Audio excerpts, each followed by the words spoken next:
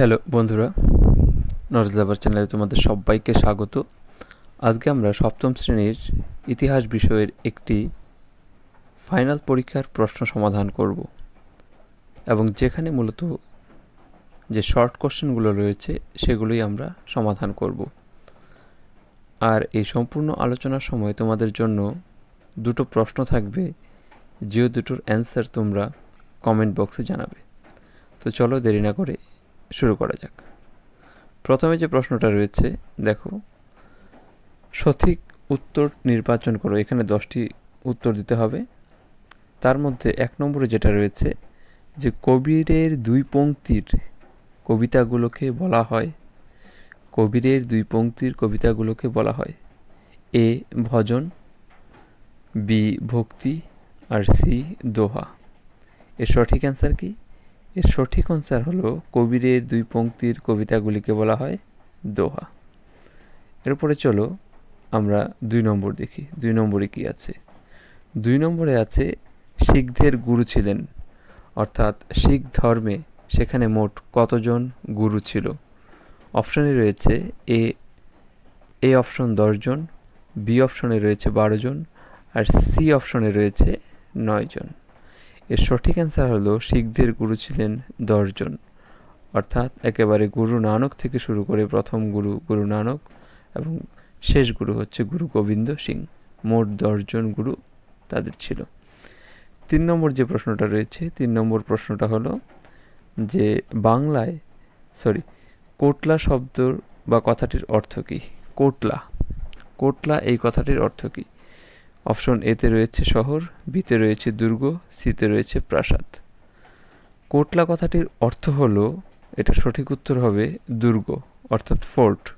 এর মানে হচ্ছে কোটলা। এরপরে দেখো, চার নম্বরে যেটা রয়েছে, চার নম্বরে হচ্ছে বাংলায় ফরাসিদের ঘাঁটি ছিল। বাংলায় ফরাসিদের ঘাঁটি ছিল। অপশনগুলো হচ্ছে কলকাতা, ব্যান্ডেল, চন্দননগর। কলকাতা, ব্যান্ডেল, চন্দননগর। তাহলে এর সঠিক অ্যান্সার হচ্ছে চন্দননগর, কারণ কলকাতায় ছিল ইংরেজদের ঘাঁটি আর ব্যান্ডেলে ছিল হচ্ছে ওলান্দাজদের ঘাঁটি। তাহলে ফরাসিদের ঘাঁটি ছিল কোথায়? চন্দননগর। এরপরে কি প্রশ্ন আছে? চলো দেখে নিই। পরের প্রশ্নটা হচ্ছে যে ভাস্কোদা গামা ভারতে এসেছিলেন। নিচে তিনটা অপশন সাল দেওয়া রয়েছে, অর্থাৎ কোন সালে তিনি এসেছিলেন? এক নম্বর অপশন, তিনি এসেছিলেন বারোশো আটানব্বই, বি নম্বর হচ্ছে চোদ্দোশো আটানব্বই, আর সি নম্বর হচ্ছে পনেরোশো আটানব্বই। এর সঠিক অ্যান্সার হচ্ছে চোদ্দোশো আটানব্বই। চোদ্দোশো আটানব্বই খ্রিস্টাব্দে তিনি আরব সাগরের তীরে কালিকট বন্দরে এসে তিনি কিন্তু নেমেছিলেন। আচ্ছা যদি সম্পূর্ণ প্রশ্ন আমরা এইভাবে সবগুলো অপশন বলি, তাহলে অনেক সময় লেগে যাবে। তাই হচ্ছে শুধু উত্তরগুলো বলে দিচ্ছি। ছয় নম্বরে হচ্ছে নগর শব্দটি এসেছে থেকে নগর শব্দটি এসেছে সংস্কৃত শব্দ থেকে। মহাভারতের ফার্সি অনুবাদের নাম কি? মহাভারতের ফার্সি অনুবাদের নাম হচ্ছে রজম নামা রজম নামা আট নম্বরে হচ্ছে শ্বেত পাথরের রত্ন বসিয়ে কারুকার্য করাকে কি বলা হয়? শ্বেত পাথরের রত্ন বসিয়ে কারুকার্যকে বলা হয় পিয়াত্রাদুরা। একটা জিনিস এখানে মনে রাখবে, পিয়াত্রাদুরার প্রথম কাজ দেখা যায়, নূরজাহানের যে বাবা ছিল ইতিমুদ্দৌলা সেই ইতিমুদ্দৌলা সমাধিতে দেখতে পাওয়া যায়। আচ্ছা এরপরের কি প্রশ্ন রয়েছে চলো দেখি। নয় নম্বরে রয়েছে, নয় নম্বর প্রশ্নে রয়েছে যে ভারত, ভারতে মুঘল সাম্রাজ্যের প্রতিষ্ঠাতা কে? তোমরা জানো এই জিনিসটা, ভারতে মুঘল সাম্রাজ্যের প্রতিষ্ঠাতা হচ্ছে বাবর। দশ নম্বরে হচ্ছে চার মিনার স্থাপত্যটি অবস্থিত কোথায়? চার মিনার স্থাপত্যটি অবস্থিত হচ্ছে এর সঠিক উত্তর হায়দ্রাবাদ। এগারো নম্বর হচ্ছে পুরন্দরের সন্ধি স্বাক্ষরিত হয় কত সালে? পুরন্দরের সন্ধি স্বাক্ষরিত হয় এখানে অপশন রয়েছে চোদ্দোশো আটানব্বই, ষোলোশো পঁয়ষট্টি আর চোদ্দোশো। এর সঠিক অ্যান্সার ষোলোশো পঁয়ষট্টি। ষোলোশো পঁয়ষট্টি সালে পুরন্দরের সন্ধি হয়েছিল শিবাজি আর মোগলদের সঙ্গে। এরপর দেখো, বারো নম্বর প্রশ্ন হচ্ছে, শ্রীকৃষ্ণ বিজয় কাব্যের লেখককে কাশিরাম দাস কৃত্তিবাস ওঝা, মালাধর বসু। এখানে একটা জিনিস বলে রাখি, যে শ্রীকৃষ্ণ বিজয় কাব্যের রচয়িতা হলেন মালাধর বসু। কে? মালাধর বসু। তাহলে কাশিরাম দাসকে কাশিরাম দাস তিনি হচ্ছে মহাভারতকে বাংলায় লিখেছিলেন আর কৃত্তিবাস যা রামায়ণকে বাংলায় লিখেছিলেন। আচ্ছা এরপরে দেখো, বেশ কিছু শূন্যস্থান রয়েছে, শূন্যস্থানগুলো আমরা দেখে নিই।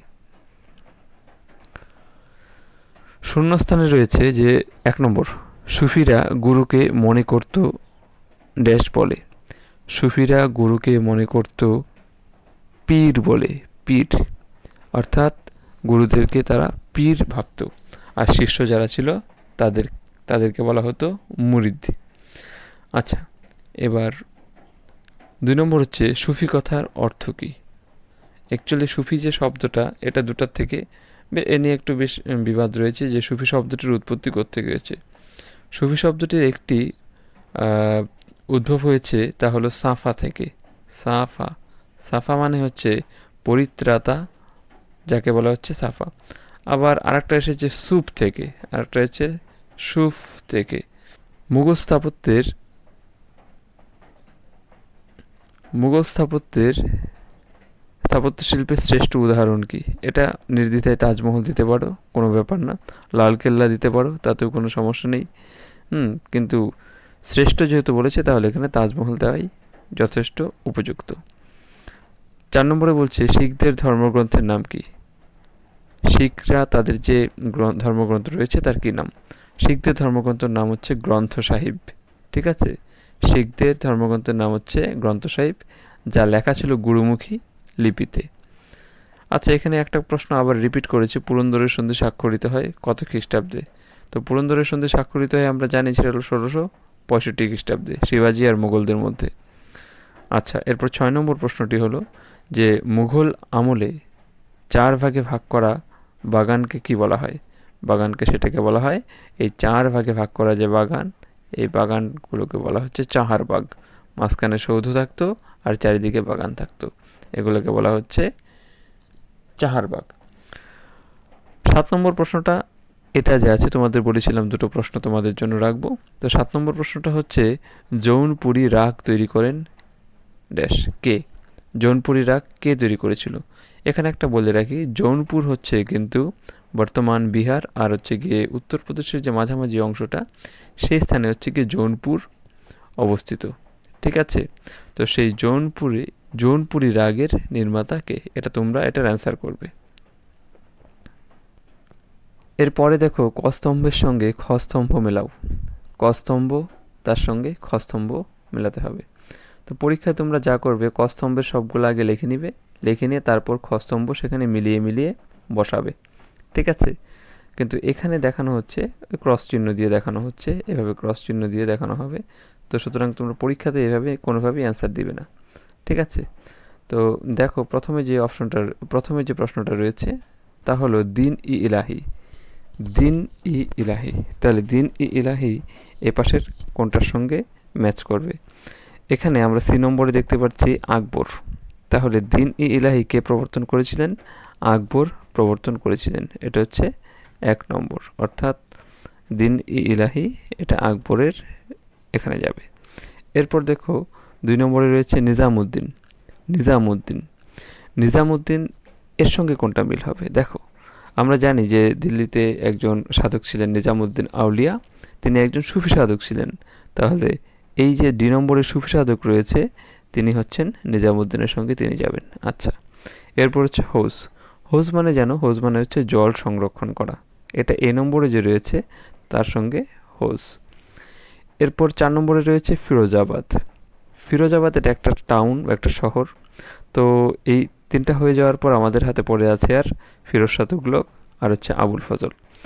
ফিরোজাবাদ এটা নির্মাণ করেছিল ফিরোজ শাহ তাহলে এটার সঙ্গে এটা ম্যাচ করেছে। আর সর্বশেষ যে আইনি আকবরী আইনি আকবরী কে লিখেছিলেন আবুল ফজল। তাহলে এই হচ্ছে এর ম্যাচিং